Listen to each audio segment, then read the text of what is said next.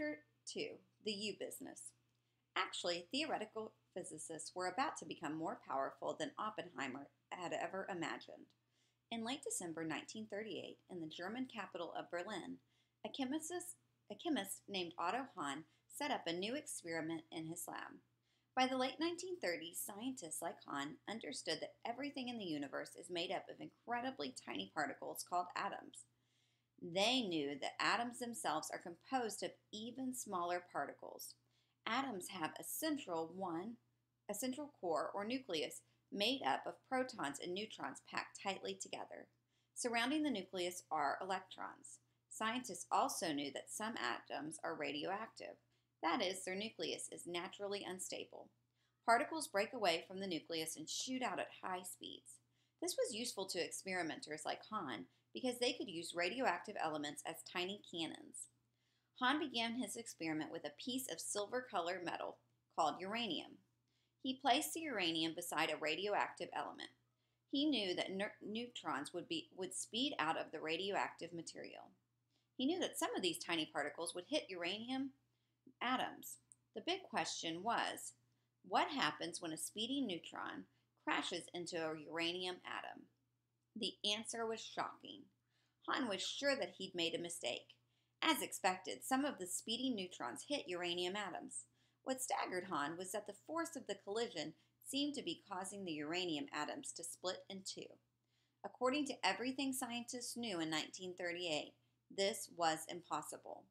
At once, excited and disturbed, Hahn needed help.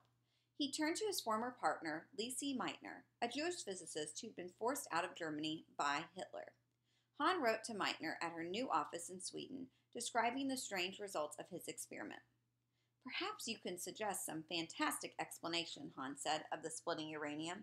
We understand that it really can't break up.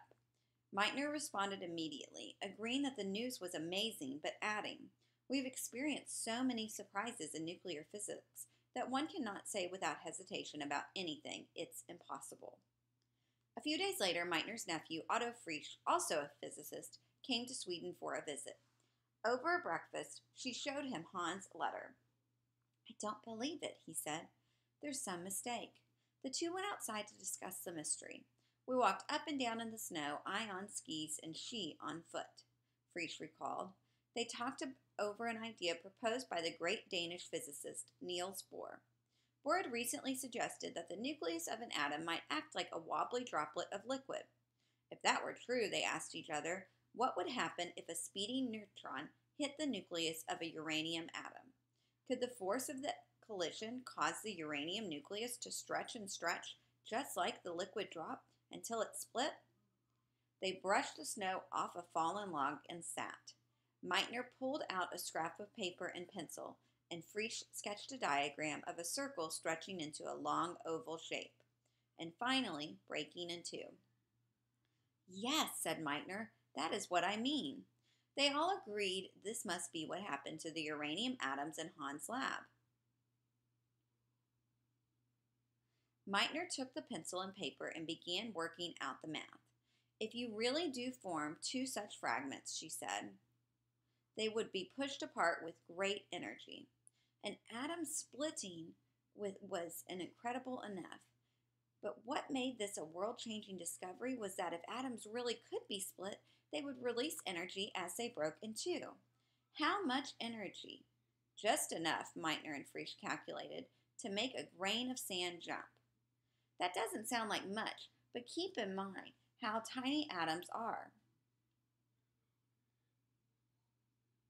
With 238 protons and neutrons, uranium is the largest atom in nature. Still, each atom is incredibly small. A single ounce of uranium has about 10 to the 20th power of atoms. What if you had a 20 pound lump of uranium? A 50 pound lump?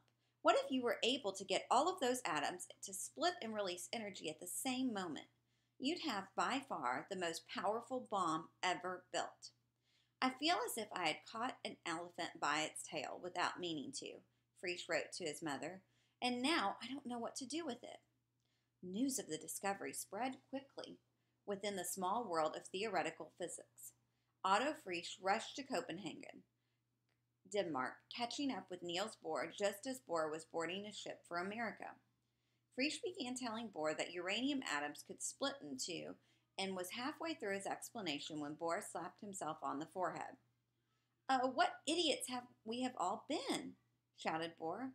Oh, but it is wonderful. This is just as it must be. Bohr was so excited he ran home to get a blackboard. He sat it up on his, in his cabin on the ship and spent most of the two week Atlantic crossing exploring his new discovery. By the time he reached New York City in January 1939, he was convinced uranium atoms really could split in two. He took the news to a physics conference in Washington, D.C., where it leaped from one physicist to another. Bohr has just come in, one scientist announced. He has gone crazy. He says a neutron can split uranium. A newspaper reporter attending the conference described the news in a short article, which was picked up by the papers in the, across the country. The next morning, a young physicist named Luis Alvarez was sitting in a barber shop in Berkeley, California. While the barber snipped his hair, Alvarez grabbed the San Francisco Chronicle from a pile of papers beside the chair. In the second section, he remembered, buried away someplace, was an announcement that some German chemists, chemists had found that uranium atom split into two pieces. Alvarez put down the paper. I got right out of that barber chair and ran as fast as I could. He sprinted to the campus of the University of California where he taught and ran from lab to lab with the news, soon bumping into one of his fellow professors, Robert Oppenheimer. Alvarez told Oppenheimer that uranium atoms split in two. Scientists were calling it fission. That's impossible, Oppenheimer said. Alvarez explained what he'd read about fission. Oppenheimer quickly agreed it must be true. It was amazing to see how rapidly his mind worked, said Alvarez. The U business is unbelievable, Oppenheimer told a friend a few days later. U is the chemical symbol for uranium. Like all the scientists involved in the discovery, Oppenheimer was fired up by the new ideas in physics, deeper glimpses into the weird inner world of atoms. The thought of making weapons of mass destruction had never occurred to him. But now, suddenly, he couldn't shake it from his mind. Fission might be, make it possible to build a whole new type of explosive. Within perhaps a week, recalled a student, there was on the blackboard in Oppenheimer's office a drawing, a very bad, an execrable drawing of a bomb. Robert Oppenheimer realized something else right away. If it was obvious to him that an atomic bomb might be possible, it was also obvious to everyone else in the global community of top physicists. This would not usually be a problem. In normal times, scientists from around the world freely shared new ideas and theories. But in 1939, normal times were rapidly coming to an end. Adolf Hitler was demanding a big piece of Poland, claiming it rightfully belonged to the Germans. Britain and France finally faced the fact that Germany would continue gobbling up territory until stopped by, stopped it by force. At Poland, they drew the line.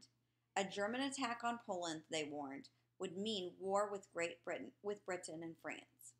Hitler waved his fists and raged. I'll cook them in a stew they'll choke on. Calling his military chiefs to Berlin, Hitler announced, Further successes can no longer be obtained without the shedding of blood. He ordered the German military to prepare an all out invasion of Poland. Hitler knew this might ignite a much wider war, but he was not worried about taking the blame. In starting and waging a war, he told his generals, it is not right that matters, but victory. Close your, close your hearts to pity, act brutally. The stronger man is right.